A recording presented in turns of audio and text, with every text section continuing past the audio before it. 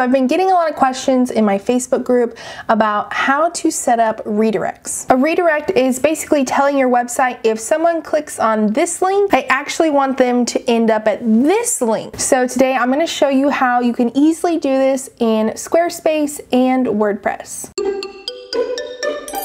If you're new here, I'd love for you to subscribe. I post weekly videos about design and business, which is why today I'm diving into the nerdy business of redirects. So first, I'm gonna do Squarespace and then I'll show you how to do it on WordPress. So when you log in to Squarespace, you're going to hop over to the Settings tab, then Advanced, and then you'll go to URL mappings. The nice part is that Squarespace actually puts this information right there on the page to help you out. So you're going to type in your first URL, then you're going to put in the little arrow symbol and then you'll type in the new URL, the one that you want people to actually land on. And then you want to tell Squarespace which kind of redirect you want to have. 301 redirects are permanent while 302 redirects are temporary. I mean, not as permanent as a tattoo, you can still delete it. Most of the time you'll do a 301 redirect. So now let's hop over to WordPress. For redirects, I use simple 301 redirects, but I also use pretty links and I'll tell you the difference between the two. For 301 redirects, this is if I've changed the link to a blog post or a page